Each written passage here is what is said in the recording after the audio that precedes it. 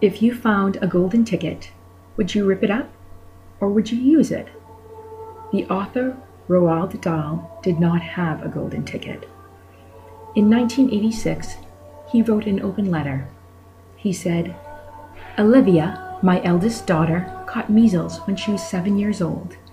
As the illness took its usual course, I can remember reading to her often in bed and not feeling particularly alarmed about it.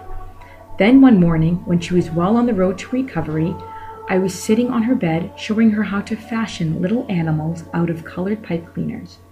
And when it came to her turn to make one herself, I noticed that her fingers and her mind were not working together and she couldn't do anything.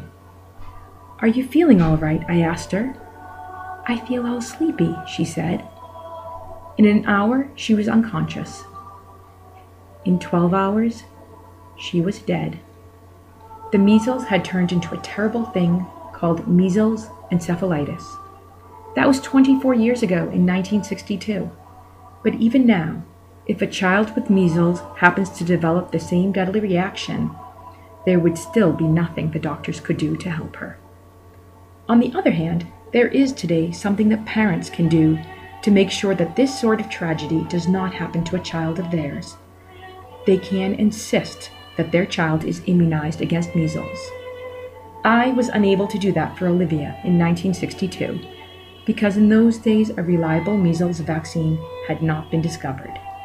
Today, a good and safe vaccine is available to every family, and all you have to do is to ask your doctor to administer it. Roald Dahl did not have a golden ticket, but you do. It is called the MMR vaccine. Please immunize your child with the MMR vaccination. You could be saving their life.